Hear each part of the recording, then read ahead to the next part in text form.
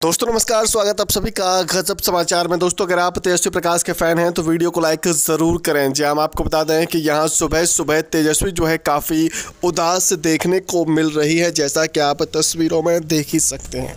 दरअसल हम आपको बता दें कि यहाँ सुबह की चाय वो जो है पीती हुई नज़र आ रही है उस दौरान वो जो है एकदम से अकेली बैठी हुई हैं, लेकिन उनकी जो आँखें हैं वो यहाँ नम देखने को मिल रही है। अब इसका कारण क्या है? क्या उनकी यहाँ करण से फाइट हुई है या फिर उनको अपने घर वालों की याद आ रही है या फिर कुछ और है। अब ये तो यहाँ आने वाले समय में पता चल ही जाएगा, लेकिन फ़िलहाल सबसे बड़ी खबर ये है कि कहीं ना कहीं तेजस्वी जो है अपने आप को अकेला फील कर रही हैं। इसके चलते कि वो जो है यहाँ रोती हुई नज़र आ रही है। या आप ये कह सकते हैं कि काफ़ी उदास है। बहरहाल दोस्तों, जिस तरीके से यहाँ तेजस्वी जो है अकेले में बैठ कर अपने आँसू निकालते हुए या अपना एलोन टाइम ले रही हैं, उस पर आपकी क्या राय है? आप अपनी राय हमें कमेंट बॉक्स में कमेंट कर ज़रूर दें। जी हम आपको बता दें कि अमूमन उनके साथ में करण कुंद्रा हमेशा बैठे होते हैं लेकिन लेकिन आज ऐसा कुछ भी नहीं